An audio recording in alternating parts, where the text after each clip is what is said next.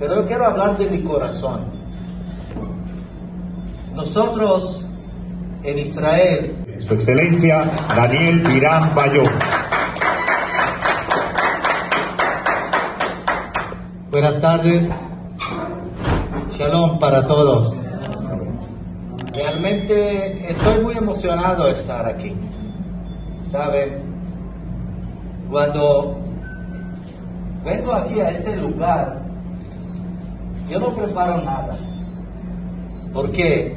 No porque no es una visita importante, muy importante. Pero yo quiero hablar de mi corazón. Nosotros en Israel, ayer y hoy terminó el día de holocausto. Nosotros realmente marcamos dos días, día internacional, según la decisión de la ONU, y el día según el calendario judío que era ayer y hoy. Y teni- tuvimos algunas actividades, el principal en Israel, en Jerusalén.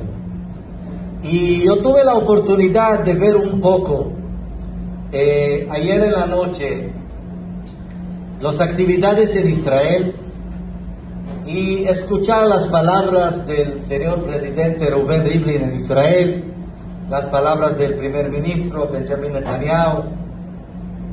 Pero lo más importante, yo escuché las palabras de sobrevivientes ayer.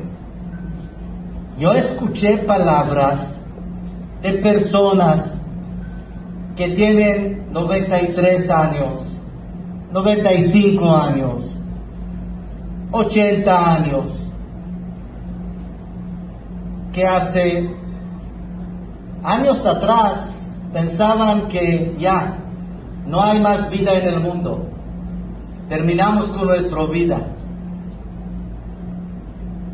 Pero cada uno de ellos tuve un poco de milagro, tuve algo.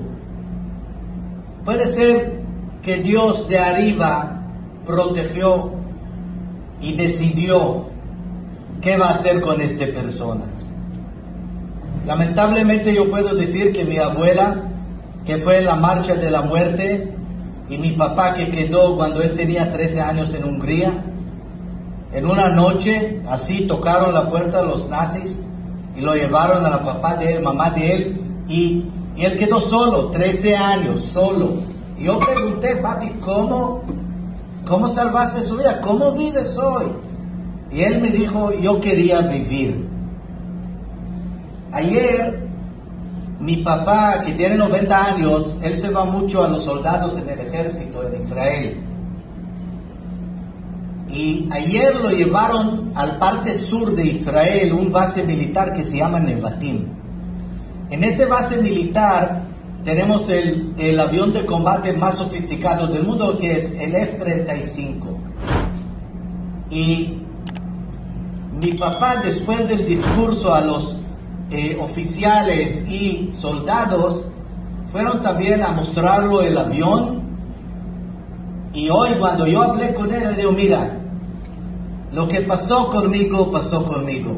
Gracias a Dios estoy hoy en Israel, lamentablemente perdí mi mamá y mi papá descubrieron hace, hace muchos años que él vivió, salvó la vida y también llegó a Israel años atrás. Pero cuando yo estoy cerca de este avión, y espero que nunca no, no vamos a necesidad de, de usarlo, pero yo estoy, cuando estoy cerca de este avión, yo me siento la fuerza del pueblo judío. Yo me siento y yo sé que lo que ocurrió jamás ocurrirá de nuevamente. Y cuando estoy hablando de señales,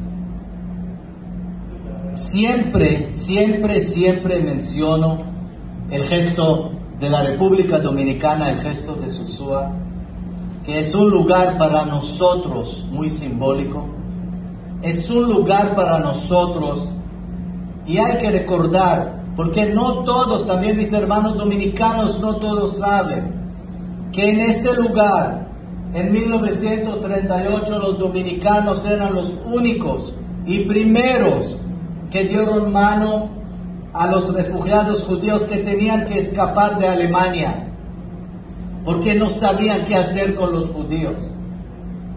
Y aquí abrieron puerta.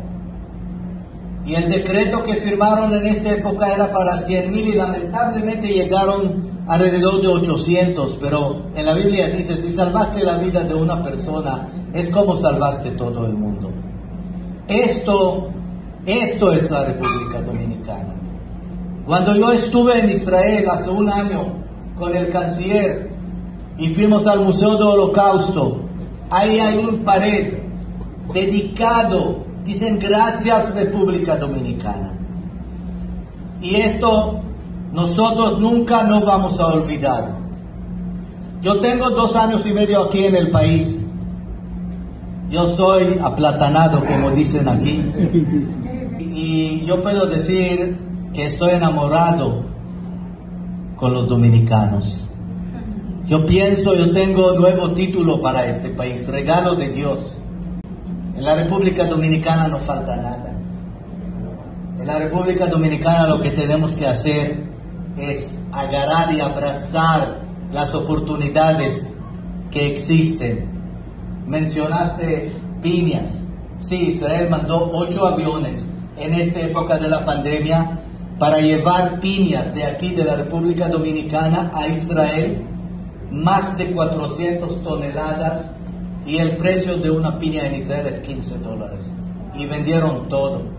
Y yo estuve muy feliz porque era la época cuando lo vi a mis amigos que votan, porque no tenían a dónde vender, los hoteles estaban cerrados. Y en Israel mandamos ocho aviones, y no solo este. Estuvimos en más de 11, 12 hospitales aquí en el país para dar ayuda humanitaria, para ver dónde sí en esta época podemos dar nuestro mano, también aquí en Puerto Plata y en otros lugares. Yo puedo decirles que nosotros decidimos este año enfocarnos más en Susúa y Puerto Plata. Y, estoy seguro que podemos hacer mucho más actividades. Y cuando hablamos sobre el tema de educación y salud, son dos temas muy, muy, muy importantes. Y nosotros estamos muy avanzados en el área de telemedicina. Y, tuvimos grandes éxitos ahora en el país con algunos equipos que yo doné al país y otra compañía que maneja todo este, realmente funciona y trabaja equipo para detectar cáncer de cuello uterino, que es enfermedad que hoy nadie tiene que morir de esto. Si hay conocimiento y todos, no importa si tenemos plata o no, merecemos tener la oportunidad de hacer chequeo médico, no es justo. Entonces estamos en esto, estamos en temas de agua, de agricultura, de ciberseguridad, de seguridad en la frontera, en diferentes áreas y cada día más. Pero de parte de mi embajada, yo estoy seguro que no es mi última visita aquí y espero que vamos a tener otra visita y hablar más profundamente sobre dónde podemos colaborar más, qué podemos hacer más. Y yo sí, yo quiero enfocar en educación. Yo quiero enfocar en educación. Yo quiero, yo quiero ver que no podemos cambiar todo el mundo, pero si hacemos un cambio pequeño, hicimos algo. Yo puedo contarles que casi dos meses después de mi llegada al país, nosotros decidimos adoptar un orfanato en Santo Domingo Este. En este orfanato, yo recuerdo mi primera visita cuando yo fui a visitar el lugar y ver las necesidades. Lo vi de la ventana así un joven que, está mirando. Yo pregunté a la señora que está encargada, ¿y quién es este? Eh, eh llámalo. Y ella me dijo, ¿sabes el nombre de él? Moisés. Entonces, por favor, llámalo. Y Moisés entró y yo pregunté, Moisés, ¿cuál es tu sueño? ¿Qué quieres comer? Y él me dijo, pizza. Entonces yo digo, ok, Moisés, en un mes tú vas a cocinar pizza con uno de los chefs más grandes que hay en Israel, que ya viene aquí al país. Hicimos un mes después un taller de, cocinar con cosas simples, con cosas que están aquí en la tierra. Ustedes no pueden imaginar la alegría que tuvieron estos niños. Y a partir de este momento realmente nosotros adoptamos el lugar. Antes de Navidad donamos computadoras. Fuimos de la embajada, no queríamos dar plata, porque es más fácil a ver dar plata y salir. No, queríamos ver cambio.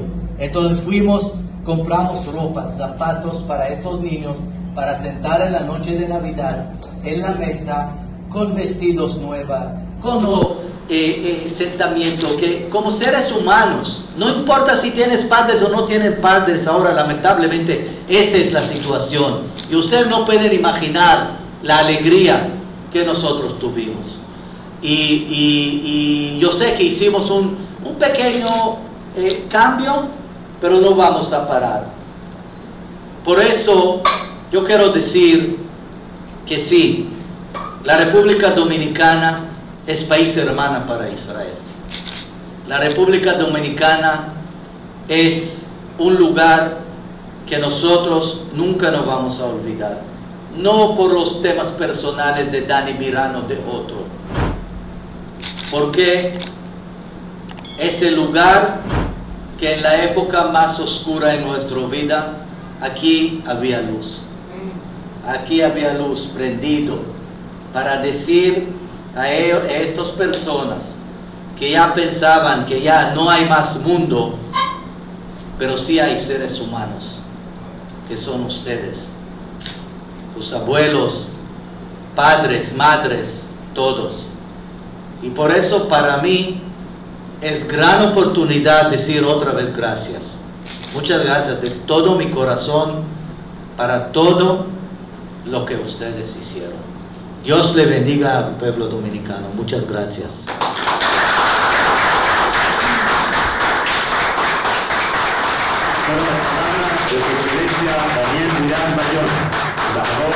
De